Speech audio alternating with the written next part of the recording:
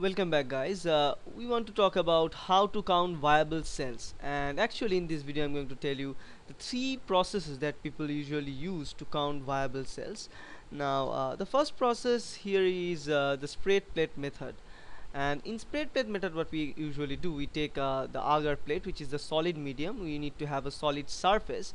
And to have a solid surface the best way to have it is to uh, make the solid media using agar and onto this solid surface we just pour our uh, media and just spread it all over the plate with a spreader. And once we've done that we incubate it for a particular duration of time and temperature. Usually for for general bacteria we use it 37 degrees celsius temperature for 24 hours and then we see the colonies. And we can count the colonies either using a visual uh, marking system or using a colony counter machine and then we can tell the amount of bacteria that is present now another method is the pour plate method and this method is slightly different from the spread plate because the spread plate is only done when the media is getting solidified.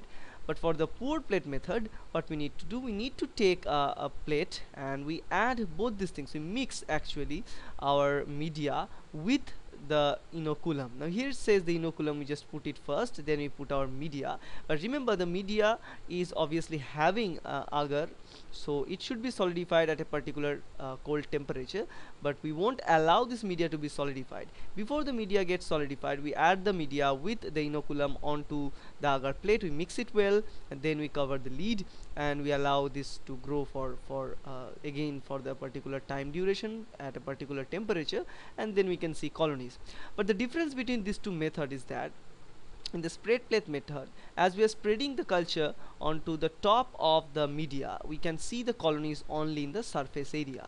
But on the other hand for the pour plate method we can see two different variety of colonies one in the surface uh, which are more aerophilic another one in the sur another one is a subsurface which is slightly embedded onto the media due to this pouring effect right? And people may thought that these are the anaerobic bacteria but I'm going to tell you that these are not anaerobic because you can't culture anaerobic bacteria like this because this bacteria might uh, not love oxygen very much so they grow at a lower oxygen content condition in the subsurface regions. So these are the two major ways. And another major way to count this viable cell is uh, is this a serial dilution method and this is found to be very foolproof method to know the number of colonies that are present in your original culture.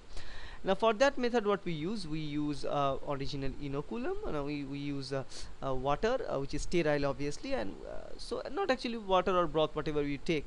And we add uh, the number of inoculum in it. So original inoculum for example 1 ml of original inoculum is added to the 9 ml of broth nutrient broth and now it becomes 10 so the culture is here.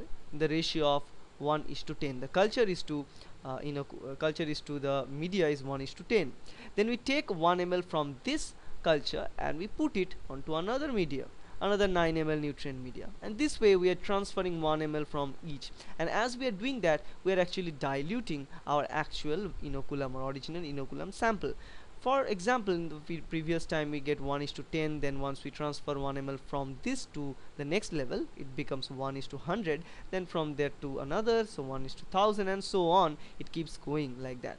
So once we're doing this we can take uh, the mixture from those uh, tubes and we can spread it uh, onto the uh, onto plates. We can spread it or pour it. Usually pour plate method is applied there uh, to get the number of colonies. Now we can see once the inoculum is very much dense we get a huge number of colonies so we can't actually count them visually because they are kind of forming a spear like smear like structure or lawn like structure.